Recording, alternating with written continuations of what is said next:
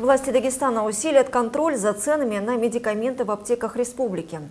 Премьер-министр Дагестана Артем Сдунов распорядился на постоянной основе проводить мониторинг цен на аптечные лекарства. По его мнению, контролировать цены необходимо не только в государственных аптеках, но и во всей аптечной сети, привлекая волонтеров. По данным Минздрава, на сегодняшний день цены в аптеках не завышены. Более того, проводится соответствующий мониторинг.